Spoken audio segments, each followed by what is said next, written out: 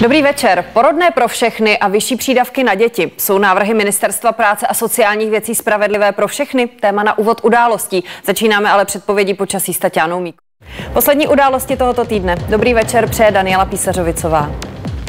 Koalice se pře o podobu koncepce rodinné politiky. Ministerstvo práce připravilo 53-stránkový dokument, který ukazuje, jak její podpora vypadá v současnosti a taky, jak se má změnit. Počítá mimo jiné s porodným pro všechny a růstem přídavku na děti. KDU ČSL se ale materiál nelíbí. Straně vadí, že resort se nezabývá těmi, kteří si zrození dětí udělali živnost. Ministrně nesouhlasí. Návrh je podle ní spravedlivý.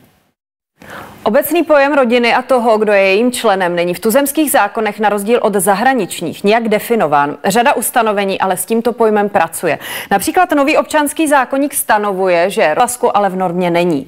Materiálu Ministerstva práce a sociálních věcí, o kterém byla řeč v předchozí reportáži, je rodina definovaná velmi široce. Určující v událostech teď Jan Bartošek, místo předseda KDU ČSL a zároveň místo předseda poslanecké sněmovny. Dobrý večer vám přeji. Jak tedy zní z vašeho pohledu definice správné rodiny, kterou by měl stát podporovat? Tam tedy nemusí být oddací list jako podmínkou, nebo musí?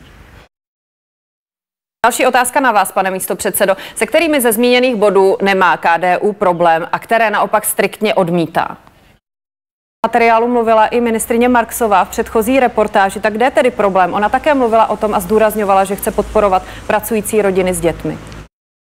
Teroristický útok v Jeruzalémě. Palestinec najel nákladním autem do skupiny izraelských vojáků. Čtyři z nich zabil a dalších 16 zranil. Pachatele na místě zastřelili. K činu se zatím nikdo nepřihlásil. Podle izraelského premiéra měl řidič vazby na organizaci Islámský stát.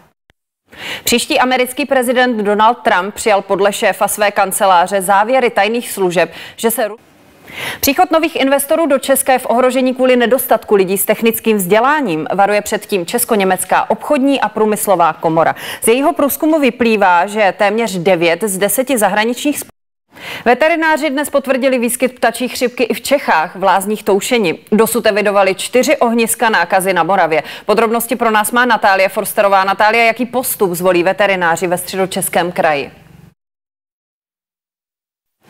Konečné slovo ve vydávání stíhaných osob do zahraničí by mělo mít podle Lubomíra za Orálka kvůli možným diplomatickým dopadům ministerstvo zahraničí.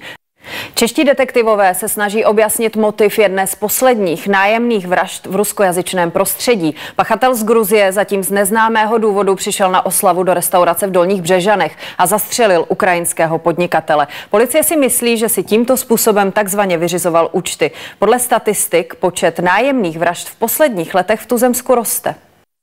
Peking zřizuje zvláštní policejní jednotku, která má bojovat proti smogu. Tým na ochranu do Varšavy dorazilo prvních 250 amerických vojáků, kteří posílí východní křídlo NATO v Polsku a po Baltí. V místech, kde budou nové jednotky působit, se na jejich příjezd intenzivně připravují. Příkladem je polský Ořiš, kde čekají taky na Brity a Rumuny. Film Učitelka Jana Hřebejka se dnes večer promítá na festivalu v Palm Springs. Poslance čeká příští týden hlasování hned o dvou prezidentských vetech. Rozhodovat budou znovu o zákonu o střetu zájmu, takzvaném Lex Babiš, který by měl opět získat většinovou podporu. Přehlasovat by měli i druhou normu, snížení DPH u novin a časopisů. Nejvyšší zhodnocení přinesly loni Čechům investice do zahraničních akcí. Nedostupná psychiatrická pohotovost. Problém, který trápí nejenom pacienty, ale i samotné nemocnice. Například v Hradci Králové je na více než 500 tisíc obyvatel jen jedno takové pracoviště. V Ostravě zase chybí lékaři. Situaci má pomoct vyřešit reforma psychiatrické péče. Počítá se vznikem sítě zhruba stovky center duševního zdraví. První etapa proměn se právě rozjíždí. Lidé lépe třídí odpad. Třeba na Vysočině k tomu přiměli motivační programy některých měst. hlava a Telč dokonce rozdávali obyvatelům popelnice na tříděný odpad zadarmo.